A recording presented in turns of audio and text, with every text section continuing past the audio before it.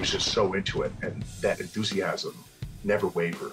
And I knew immediately, like the very first day I walked into a pro wrestling school, I said, "Oh, I should have did this a long time ago."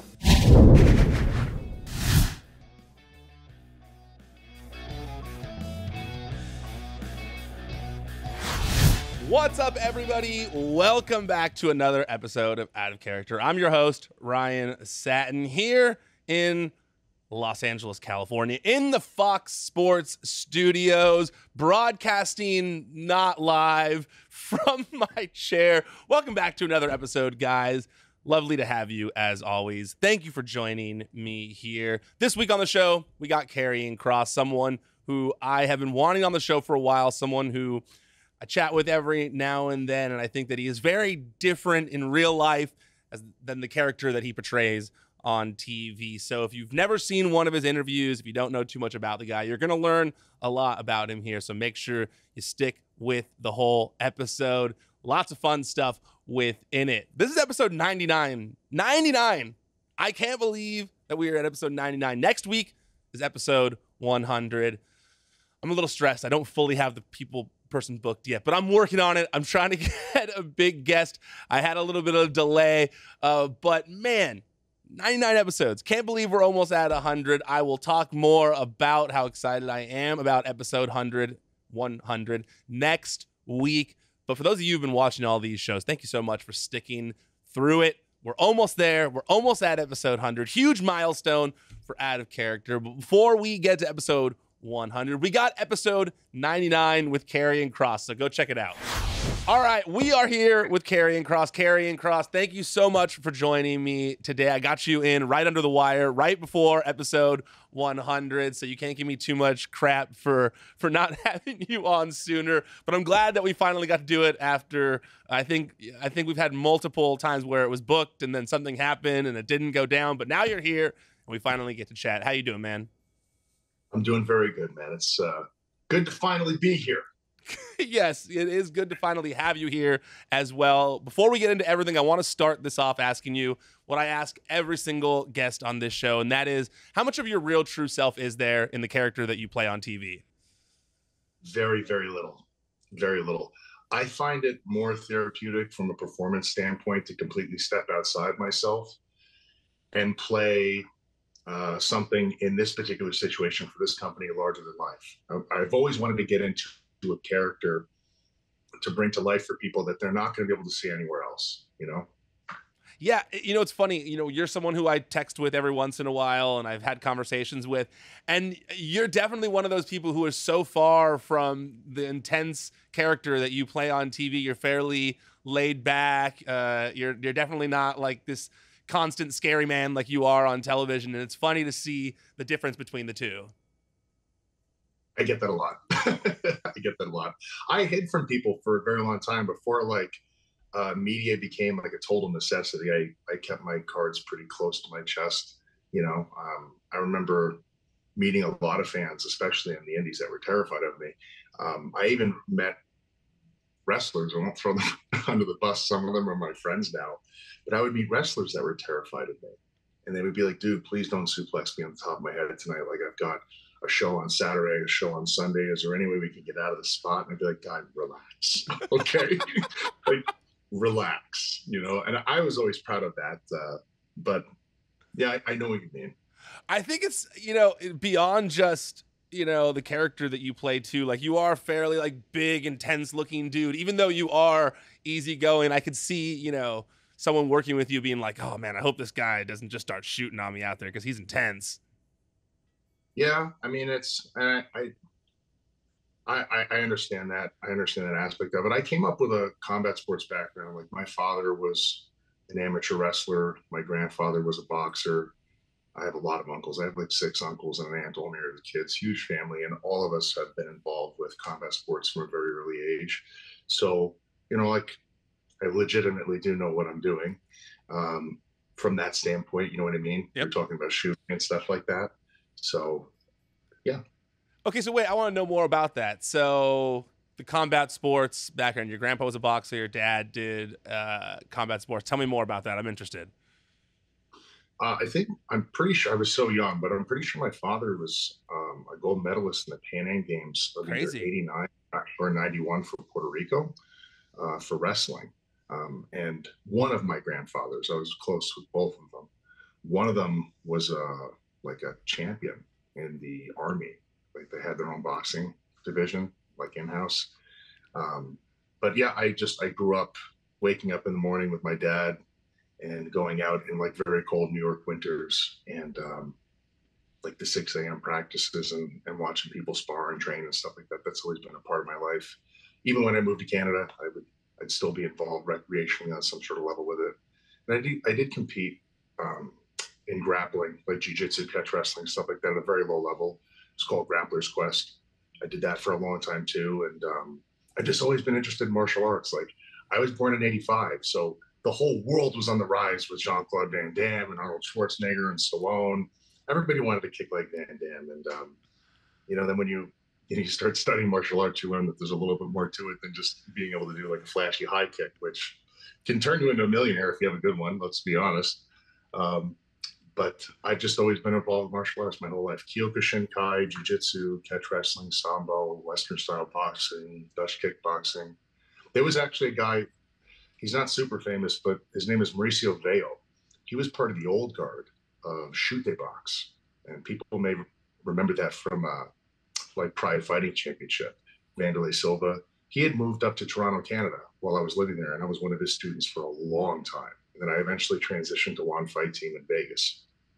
So is that okay? So see that I was gonna because you're someone who I've noticed really likes Japanese, you know, MMA or you know wrestling out there and stuff. Is that why kind of like did that enter your life early because you were into mixed martial arts stuff from a young age? Yeah, I was raised into like uh, martial arts and stuff like that. I'll be honest, when I was little, I hated it. I absolutely hated it. I just you know wanted to play with my friends and you know when you're a kid you're you don't understand the benefits of structure and discipline. And uh, my father pushed me through it. And then as I got older, I was like, oh, wow, thank you for pushing me through that. Now, this is like, you know, the benefits that came from that are you know, improving every aspect of my life. Communications. No one ever thinks about how martial arts would improve communications with people, but it does. You learn a lot about yourself, your own temperament, um, what sort of learner you are, whether you're audibly or visual. Um, it was very good for me. So, um, but I mean, I I've always been a wrestling fan too since I was very little. Like I would come home from like these boxing practices when I was little, and I would immediately put on WWE, watching Hulk Hogan and Macho Man and Ultimate Warrior. So the two have kind of been hand in hand in a funny way. What did your dad think about that back then? He liked it. He thought it was funny. Like he would dress up as the Iron Sheik for Halloween. He loved Iron Sheik. Um, he was a big guy too. Um, he liked it, but like a lot of parents, you know, when their kids have these wild aspirations, these big dreams, they don't want to like crush them, but they want their kids to remain somewhat realistic. And, you know, in society, somewhat realistic translates to what is immediately available. And becoming a WWE superstar is the farthest thing possible away from being, you know, readily available to do. So he entertained it, but like most people in my family, you know, we're all like working class. Um, some people in my family are in the service, and um, we're just very grounded um, amongst our our neighborhoods and our culture and stuff like that. Like, there's nobody famous in our family. So, you know, as a little kid, when you say you want to do this when you grow up, it's kind of like, okay, yeah. okay, okay, you do that.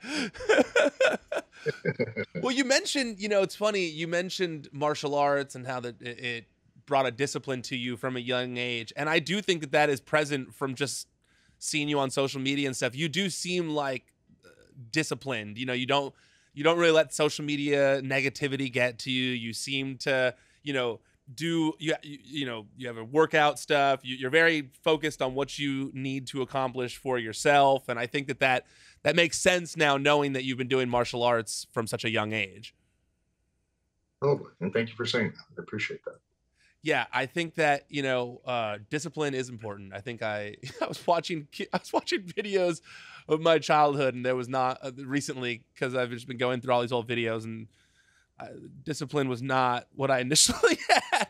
I just saw these videos of me just running around screaming. I hit, I hit my dad with a bat at one, well, a toy bat, but I hit my dad with a bat at one point, and the camera like instantly turns off when I do it, and I was like, oh no, I probably got in trouble there. Uh, you know, in your bio, I think it's in your bio or something somewhere on your social media. Um, and just from following you, it seems like you're also pretty into philosophy too.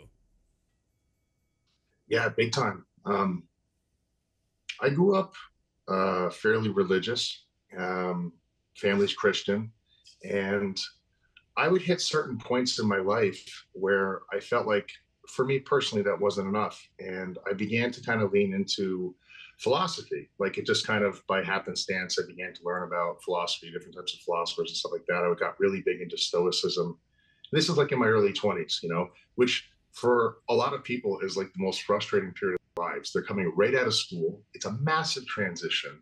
All of a sudden, like school's done, and you always like you've always wanted school to be done, and um, now like school's done, and you almost like don't even know what to do with yourself. Like if you're not going to post-secondary, you know, education, college, university, or something, you go out into the working world, and there's just no empathy, no sympathy.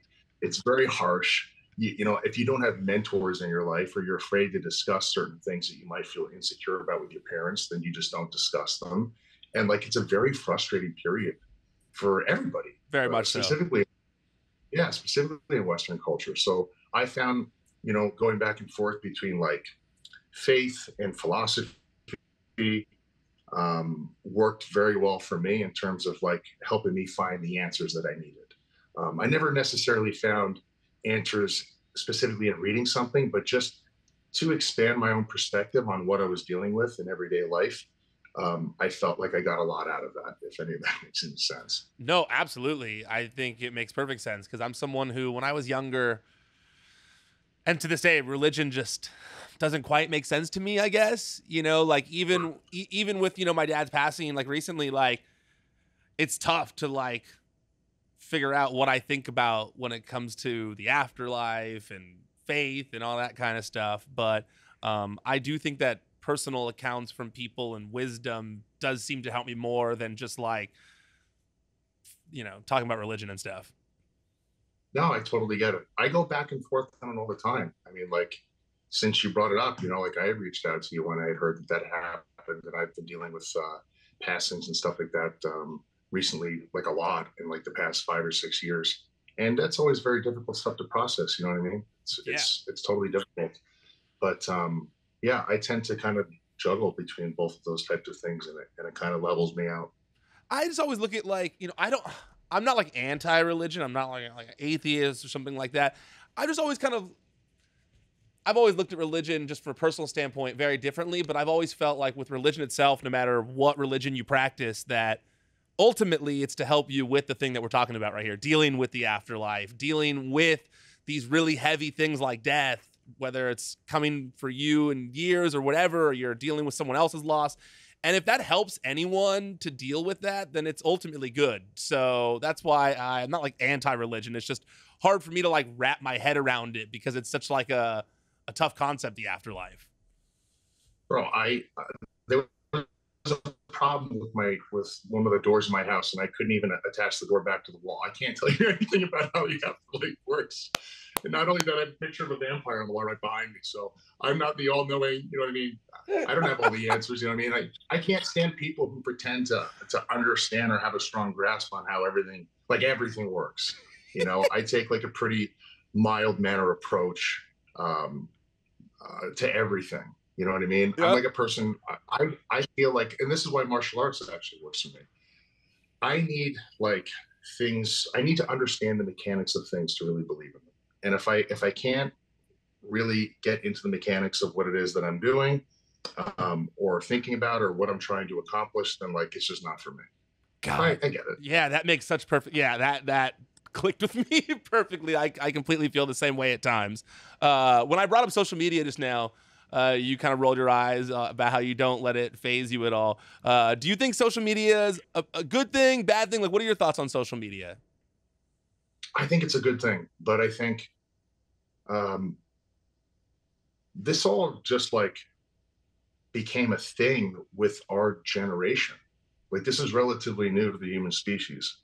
And I think over time, it's probably going to be a while, people are going to have to think about um, what they really want to get out of social media and like what the benefits are behaving one way and what the consequences are of behaving the other.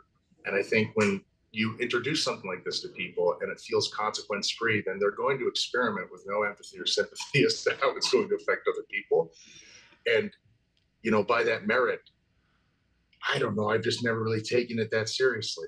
Like, it's nice to communicate with fans and have genuine responses and stuff. Like, I've I've met tons of people on social media from the beginning of my career that have been struggling with things in life, um, stuff like you and I were talking about with people passing and stuff. Like what we do for a living sometimes can provide people moments of relief, the ability to entertain them and take them away or out of something, or or perhaps even helps them process it a little bit better, puts them in a better place, being able to entertain them.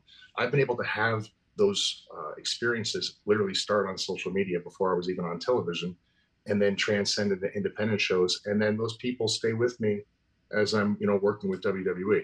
That type of stuff is amazing. Um, talking to people who are going through some sort of physical illness battle or something like that, or um, people who are disabled, or people trying to cope with anything that's really difficult. Um, I've I've met some of my favorite best fans actually on social media that kind of have fallen into those particular categories. And if social media wasn't there, I probably would have not been able to connect with them and know that I had the ability to improve their lives in some way, shape, or form. Yeah, I think that is when you talk about the two different things, you know, the positives and the negatives. The positives are, you know, people getting through all of this together in a way that just kind of like connects you and you have similar interests and you can kind of, you know, get through this thing called life together and make it easier. And uh, and then there are the ones who choose choose to make it a little more of a negative thing. I think that, you know, you seem to me to me you seem to be someone who is a who's kind of all about like independent thought, you know, someone who's like people having their very their own opinions, not following kind of like what a majority, you know, not thinking what just the majority thinks because the majority thinks it, but thinking for yourself. And I do think that oftentimes people get trapped in that on social media of just kind of like thinking what the majority thinks just because it'll get them more attention. Totally, dude. Like I grew up, I was really lucky to grow up in like a pretty first family. Um, so I grew up in New York, and on my dad's side, the family is Puerto Rican, Greek, Italian, and then my mom's side is like Scandinavian, Croatian, I think like Irish or English. We have like a very big like melting pot. Um, and I never grew up like with sort of a tribal nature. Like I had two very distinct, different families and heritage um, on both sides and I was just in, in boxing gyms, like everybody from every color and every race and every belief system is there. So I was like super fortunate to grow up around a lot of different um, concepts and ideas of diversity. And I've always kind of felt like it's been hard for me to express it in these words until like I got older. But I think people living together in harmony as individuals is definitely a possible thing.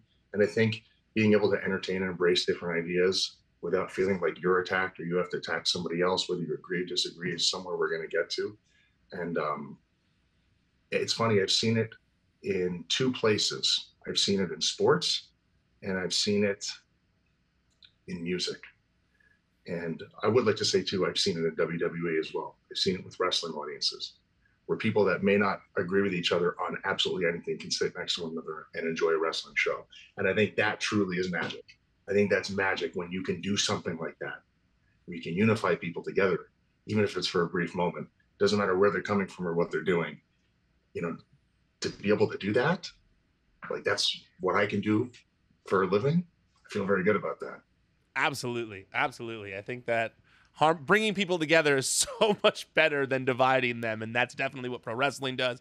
Music, absolutely. You know, yes, absolutely. Could not agree more. So then you're in New York, you said, right? Vegas is where you start training, though, correct? Uh, I grew up in New York. I was there for about 10 or 11 years. Then I lived in Canada for okay. almost 20 years. Okay. I was primarily based out of Toronto, Canada. And then I lived in uh, I lived in Las Vegas for around 10 years. Okay. So what were you doing in Vegas before wrestling? Originally I moved to Las Vegas to fight pro. I wanted to fight uh, in the heavyweight division for mixed martial arts. Um, and I had went to uh, Wand Fight Team. So it was Wanderlei Silva's school that was there. And then I transitioned over to Syndicate Mixed Martial Arts because they had a larger consistency of heavyweights there. I felt like that gave me a little bit more of a um, a better idea of what areas I needed to improve on. Like beating up welterweights and light heavyweights all the time is it's not the same as you know what I mean going with heavyweights. So um, but all the while I was doing that, man, all I could think about was pro wrestling. Like I felt like I was going against I felt like I was going against what I really wanted to do. And I had a stronger support system to do combat sports than I did pro wrestling. But eventually I just got to a point where I was like, I need to at least try this. I need to try this and get this out of my system. I can't go to my grave never trying to become a pro wrestler. This is all I've ever wanted to do since I was a little kid. And the combat sports thing was more of a comfort zone. It wasn't a passion. You know, like I knew something was wrong when I was getting up in the morning for practices every day and I didn't want to go to practice. I knew something was wrong. And I was like, ah, oh, you know, the first week, I was like, ah, maybe I'm, uh, maybe I'm just tired. Maybe my, maybe I didn't drink enough water. You know, you try to rationalize it like it has to be my diet. I'm just in a bad mood. And then like it's two weeks and it's like, boy, this has been a, a really long bad move. And then, and then like a month or two months go by and i'm just like okay i don't want to do this anymore. Oh my god what do i do? My whole identity is wrapped up in this family or like you know they're telling me you're going to be a world champion you're going to be a world champion and then i got to call them and tell them i'm not going to do this anymore. I was like so worried about it at the time and um, it didn't turn out to be a big of a deal as i thought it would be in my head at that time you know we get wrapped up and we think these things that we're doing are a part of our, our you know our identity but they're not really. We just make them a part of it.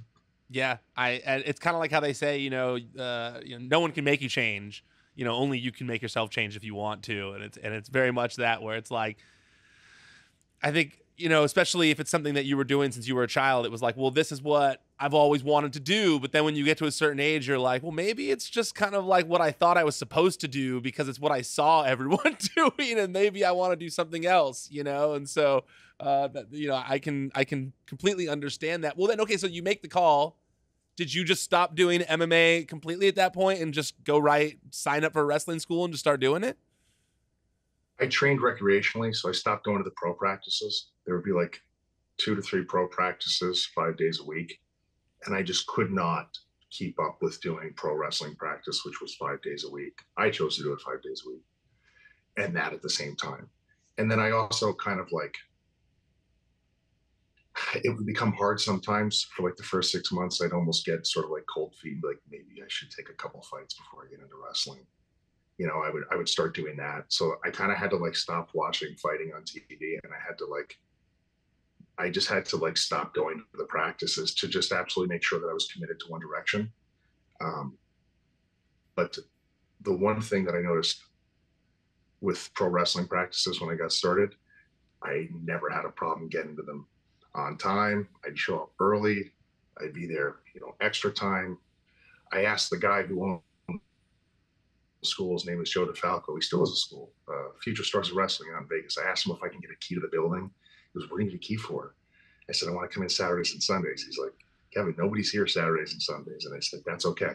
I promise you, I will just let myself in and I will work on the canvas or work on my rolls. I want to do spots. I just, I want to condition my body to the canvas. He goes, You're nuts, but okay, here's a key. Make sure you lock up. And, but I did. And I was just so into it. And that enthusiasm never wavered. And I knew immediately, like the very first day I walked into a pro wrestling school, I said, "Oh, I should have did this a long time ago." So.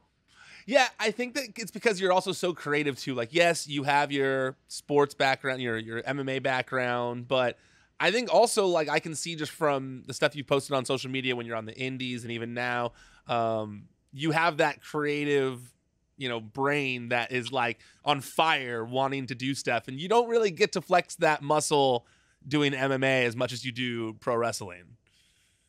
No, not at all. not at all. It's um, uh, you you can't make mixed martial arts something that it's not. It is what it is, and um, to some degree, pro wrestling and sports entertainment it has subjective lanes that have flexibility. You can make it a lot of different things, which is good because it caters to you know a variety of different demographics of different types of audiences and stuff like that. But yeah, there was definitely no room for any creativity with that. well, let's get to you in the WWE. People are like, Ryan, get to some of the stuff of him talking about the, the stuff where he's in WWE, not his whole background in life. I wanted to know, so I was interested in all of that. Uh, so the past two years for you have been like they have just it has been the craziest roller coaster of life. Like you know, you're on this like you know, you're at your dream job, you're on this like super high where you're like, man, I'm I'm like the man in NXT. I this is exactly how I envisioned it being here.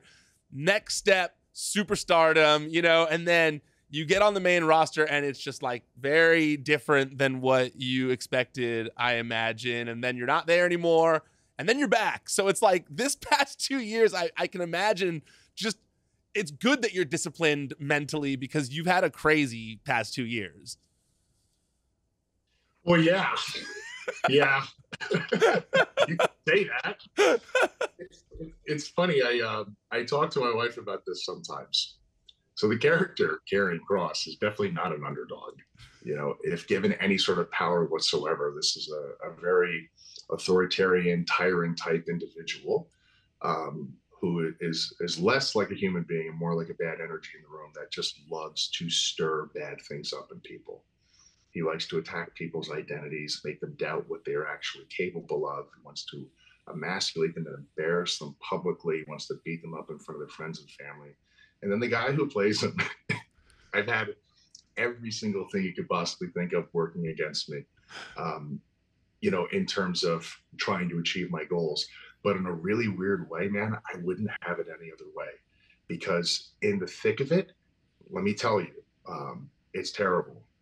I'm not going to give some sort of like fake motivation spiel and be like, listen, you just got to power through it, brother.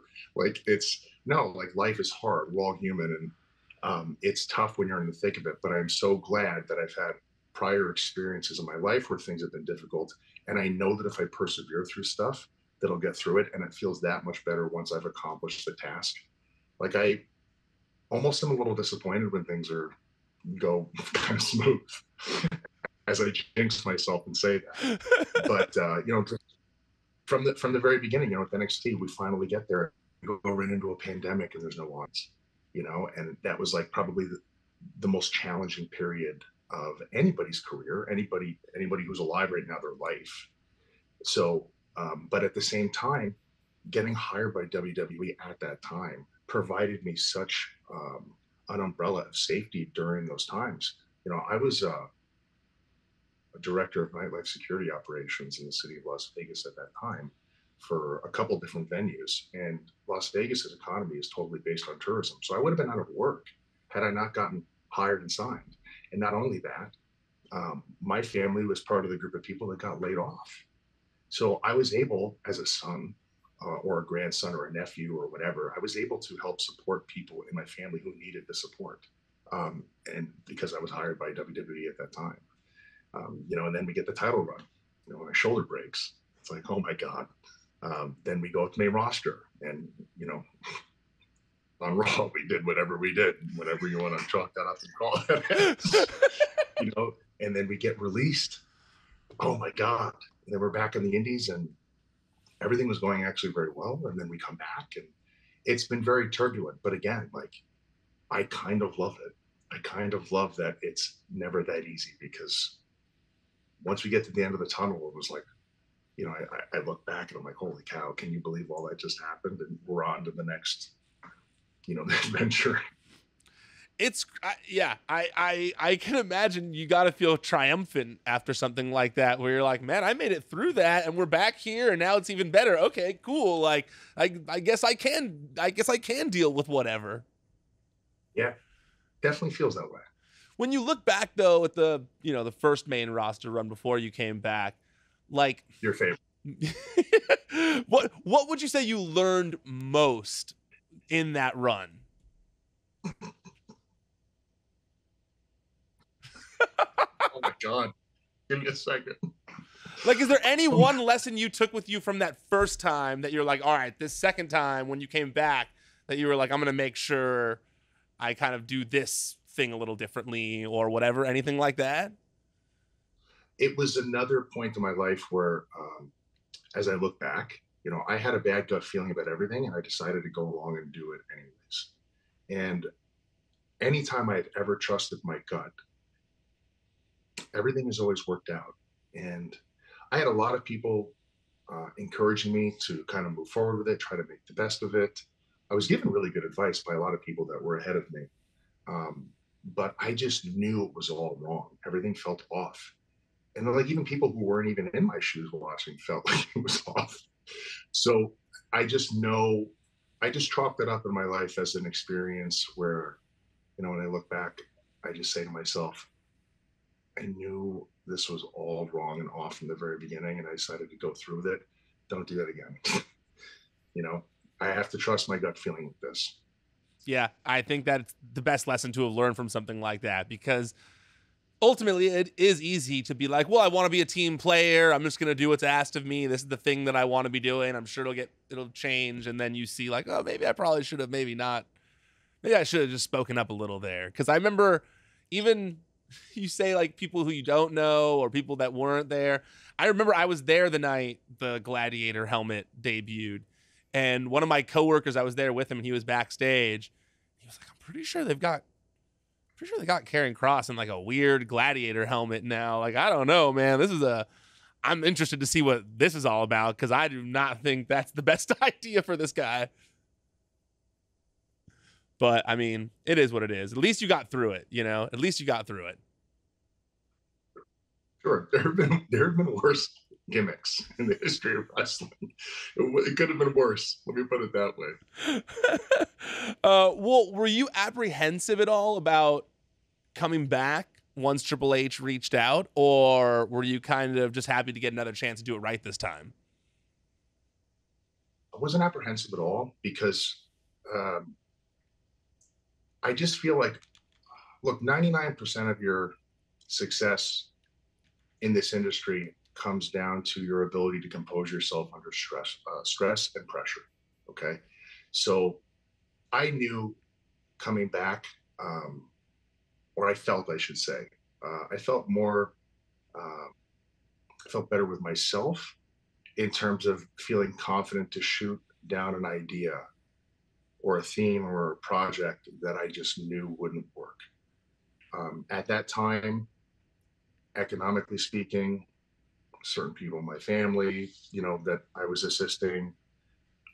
And then also on top of that, like the NXT run that they gave me, it was a murder run. They literally had me clean out everybody and everything, complete clean kills on on everybody. I had no reason to believe that anything would, you know, you know become weird or not work out or something like that this is the one thing they're asking me to, do finally that i'm not totally 100% on. You know how foolish in my mind i was thinking how foolish it would look. The one time they asked me to do this thing if i said no i mean all of that was in my head at the time. But uh coming back i didn't have any of those things to be worried about and I was out there outside of WWE. Financially, my wife and I were good, and we were having fun and working on different projects and stuff like that. And we've always loved working for Hunter. Um, he's like the easiest boss that I've ever had in terms of like being accessible to discuss ideas with and stuff like that. But also on the flip side too, he may not tell you this, but you know, excellence is expected. You know, he has a very, very high standard for all of his talents to meet. So while he's easy to talk to and you know he's everybody's favorite boss like we all know that he expects us to bring it and i think that brings out the best version of all of us and i think that's one of the main reasons why people like to work with him I, that's the type of boss that I prefer. You know, sometimes you have bosses that like to pit people against each other because they think that if everyone's kind of like competitive with each other, then it'll bring out the best of everybody. And they're trying to fight for the attention of the guy uh, at the top, you know, and, and see you can get there.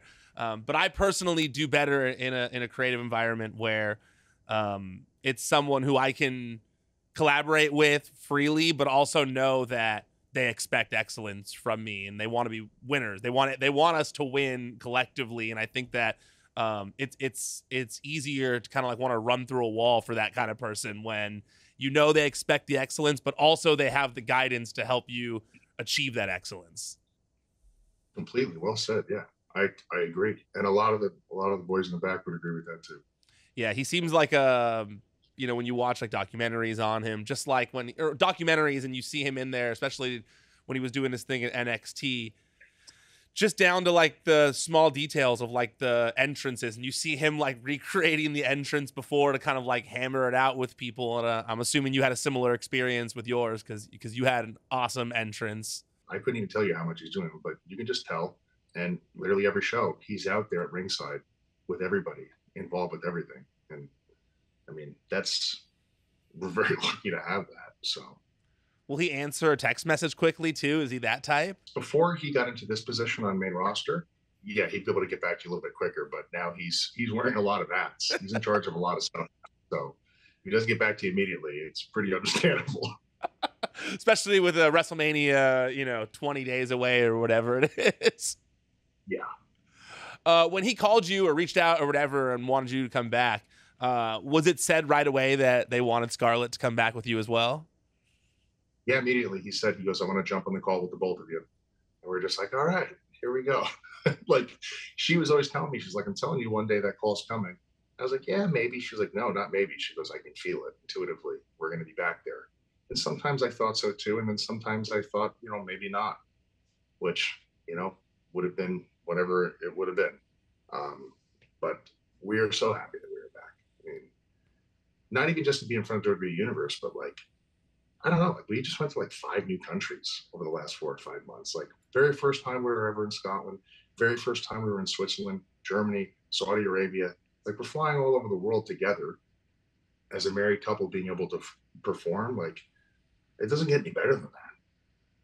Yeah, I, I, you guys have a great relationship too. It's like it's not someone who you're like, oh, I don't want to spend all my time with this person. Like it's awesome that you get to spend all your time with this person. Because sometimes like, oh, I don't want to get my wife. I go hang out with my friends or whatever. But it's awesome that you guys are, you know, able to do that, travel the world together, perform at a high level. And I think that Scarlett genuinely does bring uh, a very unique element to your guys' act. Thank you. Now, you know, right from the very beginning, um, I looked at the functionality of how managers typically work in wrestling. And um, one thing, like before we got started in NXT, was I, I wanted to avoid accidentally creating a character to stand next to Karrion Kross that felt replaceable. You know, because some managers, you know, sometimes it, you know, when somebody's watching something, it's like, you know, if that manager wasn't standing next to the particular talent, I don't think it would make a difference. Or maybe the talent might be better off, or maybe the talent is overly dependent on the manager. I wanted to create a synchronicity between the two characters, and she totally understood that and was right on track with it. Where it's like, no, these characters work together. You know, this this type of energy that they feed off of. Um, and we were working on that for a while um, in different ways. Uh, on the independence, we kind of just discovered that, and we like a lot of the same films and stuff like that. So we were able to put that together, and I, I wanted this character to feel important. You know, Scarlett, the yeah. character Scarlett, I yeah. to feel very important. Um, sometimes her and I almost even think of Scarlett and Kross as a tag team instead of a wrestler and a manager. So I think with that notion and intention behind developing that, it's why it comes off the way it does. That's interesting that you say that because yeah, even though she is technically like your manager, it doesn't feel like a manager. It does feel like you know an, uh, a duo together that that does have these different yin and yangs to each other. Like it's a real natural born killers vibe where it's like you got this scary uh, killer and you've got like you know the the the crazy person beside him or whatever. And i i love like the the dynamic between the two of you guys. Thank you. Then we watched those movies and that's exactly you kind of hit the nail on that before i could even say it. That was a, uh, one of our favorite films natural born killers is such a good movie any quentin tarantino movie is good well that's not that quentin tarantino movie that's he's just in that movie right that's not a quentin tarantino movie right didn't he uh, oliver stone Oliver Stone, thank you. Excuse me. But isn't he like in the movie though? Am I uh, am I, I tripping? Maybe. Hold on. Now I got to see if I'm tripping here. Hold on. I got to know. Oh no, he just No, never mind. He's not in it. I'm thinking no, I'm not, I'm thinking of someone else in that movie. But yes, great movie. Regardless, I love that movie. It's been so, I gotta watch that movie. It's been way too long, clearly, since I have seen It's- that movie. It has Tarantino vibes. It does. You know what I mean in terms of the violence and the uh, cutscenes and stuff like that. That's not the first time I've heard that before. Yeah, I don't know why I said that just now. I right when I said it, I was like, wait, that doesn't sound right. Right when I said it. Um, but you are a movie guy. Do you remember? Do you remember the first horror movie you saw? Because you seem to love horror movies.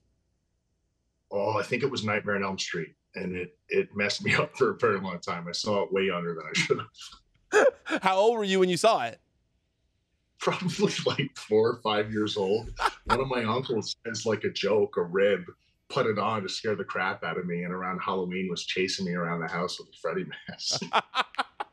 That's so funny. I had Cody on the show last week, and we were also talking about watching movies that we probably shouldn't have seen way too young. And it's I, I, now there's all these parental controls on everything, but it was much more of a free reign situation in the '90s and the '80s. yeah. Yeah, if you had access to HBO, I mean, God knows what would have been on when you just turned the TV on one day. You know, Tales from the Crypt or, oh man, Friday the 13th, Halloween, Hellraiser. I saw all of those. What's the last? Do you remember the last horror movie that you were really all about? Well, um, I'm a very big David Cronenberg fan. Um, his son, Brandon Cronenberg, just did a film called Possessor, and I really liked that. Um, and I just recently saw Infinity Pool, which was a which is a David Cronenberg film. I'm more into the psychological horror, um, but one of my favorite horror movies of all time, aside from Hellraiser, because I've went on public record to say that before, um, was a uh, now of course now it's escaping me. Uh-oh. Videodrome. Okay. There it is. Videodrome. If you guys haven't haven't ever heard that, I don't even want to tell you what the plot is. If you're if you're 18 or older, go go put on Videodrome and watch that. not for four year olds. Not not for four year olds. Not really. No.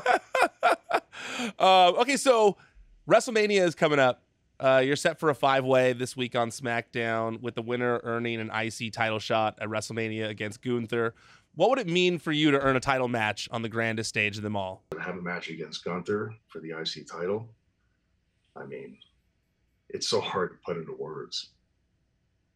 I mean, you've been watching wrestling your whole life, so I mean, it's hard to, I guess, really say. But I mean, there's gonna be a lot of people at that show. I feel like, I feel like it's one of those shows where everybody on the roster wants a spot there because it's like in the heart of LA. It's gonna be a bajillion people in there. Uh, so I, yeah, I can imagine being part of a title match would be an honor.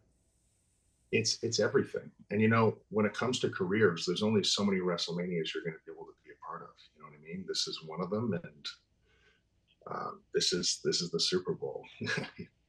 Be nice way to cap off that two year roller coaster with a with a title match at WrestleMania. I I'm a very big believer in earning what you get. And I never want to be handed anything in this business. You know, it's like we were talking about earlier about really striving for it, chasing it, grinding out for it. I definitely believe in earning every single thing that you get. And I'm going to do my best to earn it this Friday. Hell yeah. All right. Well, we've reached the end of the show here, but I like to end every show with a segment that I call.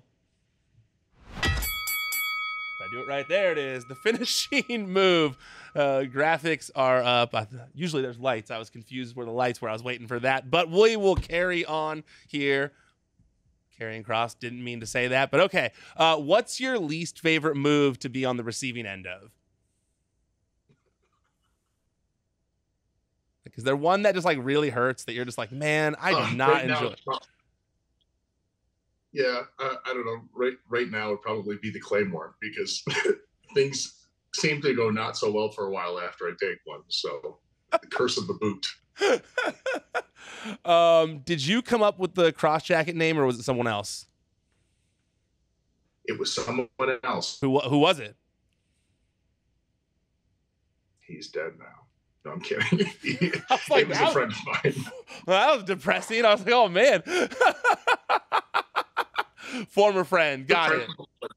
Excommunicated person, got it. We will not find out who did that.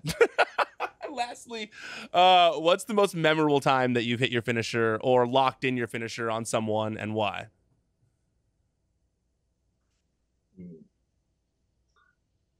Rey Mysterio in our last singles match.